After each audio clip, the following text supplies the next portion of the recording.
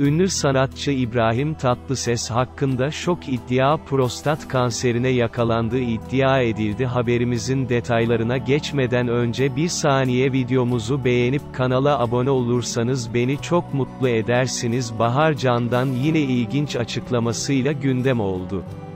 İbrahim Tatlıses'in 14 Şubat yorumunu duyan Can'dan konudan bağımsız ilginç bir yorum yaptı.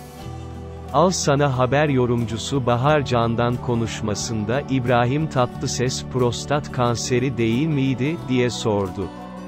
Sisi ise, kontrol etmedik, yanıtını verdi.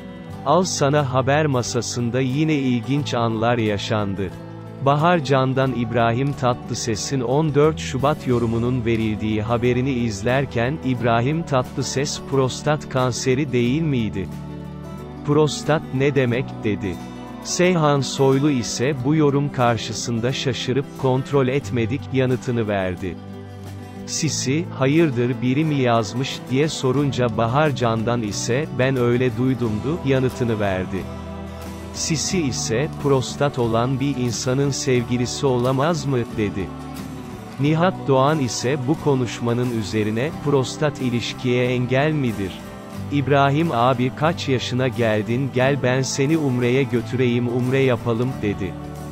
Şimdilik videomuzun burada sonuna geldik. Gündeme dair gelişmelerden anında haberdar olmak istiyorsanız aşağıdan kanalıma abone olup bildirimleri açabilirsiniz renkli sayfalar.